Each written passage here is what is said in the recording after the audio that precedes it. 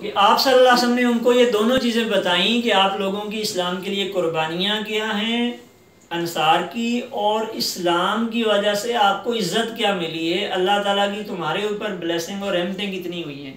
پھر آپ نے یہ دو باتیں بتانے کے بعد انہیں کہا کہ انصار، کیا تم یہ پسند کرتے ہو کہ لوگ اونٹ، بھیڑ، بکریاں لے کے جائیں اور تم اللہ کے رسول کو اپنے ساتھ لے کے جاؤ؟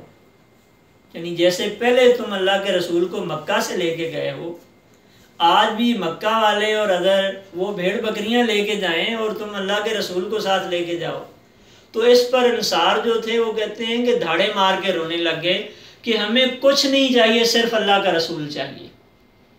اگین یہ ان لوگوں کی گریٹنیس ہے کہ جیسے انہوں نے پہلے اسلام کے لیے اپنے آپ کو کھلے دل سے پیش کیا، آج بھی انہوں نے وارملی آپ صلی اللہ علیہ وسلم کو لیا ہے دنیا کی بجائے اللہ کے رسول کو انہوں نے سامنے رکھا۔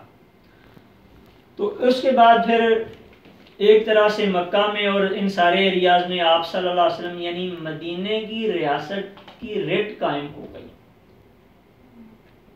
تو اب وہ ایکسٹینشن جو تھی یہاں تک پہنچ گئی۔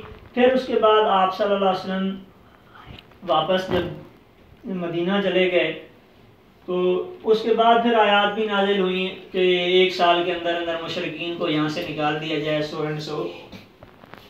تو اس طرح آپ کا جو غزوہ ہنین ہے، اس کے جب آؤٹ کمز کی بات کرتے ہیں یا لیسنز کی بات کرتے ہیں، تو وہ یہ ہے کہ ہمیں اپنی کثرت پر میجورٹی پر وہ ٹرسٹ نہیں کرنا چاہیے، بلکہ اللہ تعالیٰ پر ٹرسٹ کرنا چاہیے۔ اللہ تعالیٰ کو یہ بات ناپسند ہے۔ فتح اور شکست اللہ تعالیٰ کے ہاتھ میں ہے۔ پھر ایز اے لیڈر جب ہم دیکھتے ہیں تو لیڈرشپ کا یہ ذمہ داری ہے کہ آپ کو